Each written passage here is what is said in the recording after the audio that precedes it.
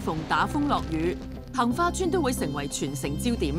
突然間有一陣巨響啊，個窗咧就搖搖欲墜，幾乎跌落街。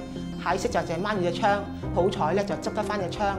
嗰次天鴿咧，停車場嗰度咧真係浸到沒頂啊！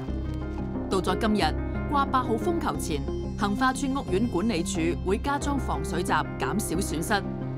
但係隨住自然災害更頻繁咁發生，市民要特別留意已購買保險嘅保障範圍。喺二零二三年九月嘅蘇拉颱風啦，同埋世紀黑色暴雨個期間呢，我哋香港保險業總共賠咗十九億，賠償最多個範圍咧就係財產損毀同埋業務中斷。對於家居嘅財物啦，或者商鋪啊嘅財物啦，以至誒汽車保險有六成嘅車主咧，其實冇為自己架車買一個全保。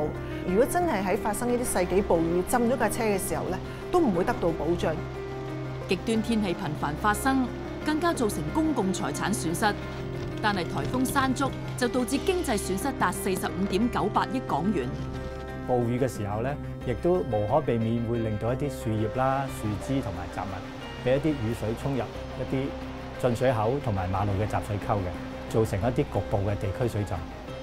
當天文台發出風暴潮預警後，渠務處會安裝可拆式擋水板，設置臨時水泵，並且提供沙包供市民使用。